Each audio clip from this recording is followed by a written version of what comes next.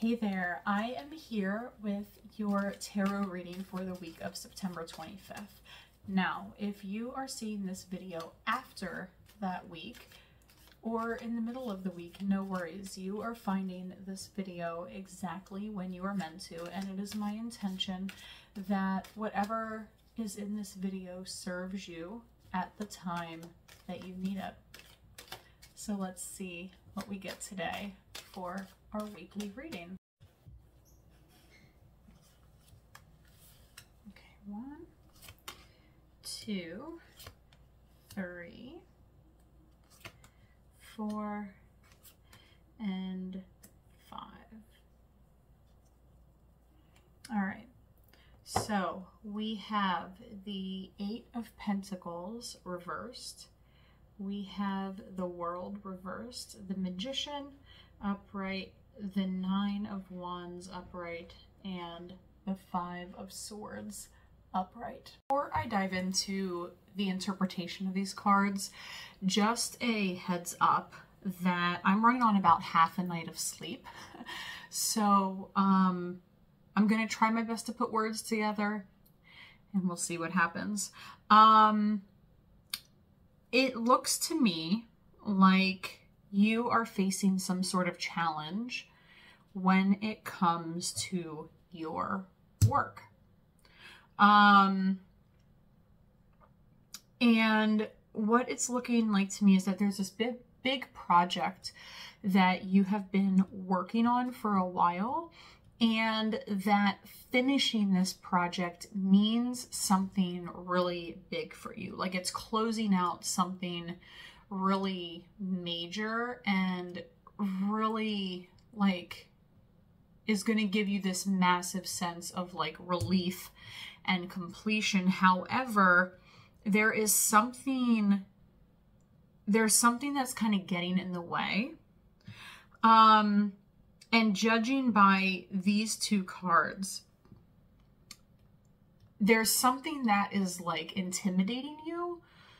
Um or kind of putting you on the defensive when it comes to finishing this project. And it could be like you're worried about what other people are going to think of you. Um, like, is this project going to be good enough? Is it, you know, kind of being worried about, is it going to get you the results that you want? Um, and you know, it could be that in whatever realm you have this work going on, um, that maybe at times in the past your work was not acknowledged in the way that you feel it should be. And what's telling me that is if you look at these these two cards right here, the um the Nine of Wands and the Five of Swords. Both of them are looking to the left. Um, which is the past, right? They're looking to the past. Um, and this guy's kind of looking behind him as well. And so, you know, this guy in the Nine of Wands, basically, he's like, I've set up all my stuff. Like, I've taken care of my shit. I've made sure I've done what I'm supposed to do, and I am going to defend my work. And don't fuck with me. And this guy right here is, I think, reminding you to be careful that whatever it is that you're going to complete and achieve, that you do not do it at the expense of others. Because if you do that, it will come back to bite you. Um, so really make sure that you are fully aligned in your work. Now, this guy in the middle, the magician, is here to remind you that you have everything you need. All right. You can see him reaching up to the universe. There is this connection There is this infinite connection. And not only that, but he has all the tools that we see in tarot the pentacles, the cups, the wands, the swords. He has them all. All right. You have everything you need. You have the divine connection and you have the creative power to really close out this project and close out whatever this project is a bigger part of in a really big and powerful way. Don't let your own fear about what other people are going to think of you or your own defensiveness or whatever that is get in the way of that. All right, so if you are journaling on this for shadow work this week, here are some questions to ask yourself. So, number one, I would ask yourself, what is it that feels like it's blocking you or threatening you or intimidating you from finishing out this work that you really need to get done? And I think there is also like when we have defensiveness or when we feel threatened, it comes from a place of not trusting yourself.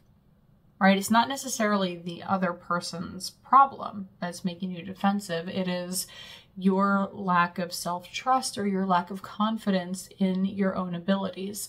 So I would ask, what is getting in the way of that self trust or that self confidence? Um, and with that, what are the underlying stories driving the bus here? And more importantly, surprise, surprise, where do those stories come from? Getting this work done, whatever whatever it is, is really essential. And so in order to overcome the block, you are going to need to heal those stories which are driving the bus. You're going to have to find the confidence and the trust in yourself to do what it is that you need to do. So then I would also ask yourself, what do you need in order to heal these stories? Chances are, if you are like most people, you may need some support. It, it can be really, really hard to figure out the underlying stories on your own. Um, and it really, it really can be helpful to have someone on the outside who can zoom out and look at things big picture there to support you to help you identify those stories and then heal through them. And so you're going to need someone who understands how to heal through these stories. Okay. So, with that, a therapist or a coach is someone great. If you have a, a, spiritual support that you use to work through shadow work, that is great. And if you don't, you know, I am I am here for you and I am happy to support you in that regard. Um, you can just reach out to me. All right. But either way, um, you are capable of doing this work. And when you do it, great things are going to happen for you. They really are. It's just about overcoming those blocks, building the self trust, letting go of the defensiveness. And you got this, right? I'm here for you. Have a great week whenever you are seeing this.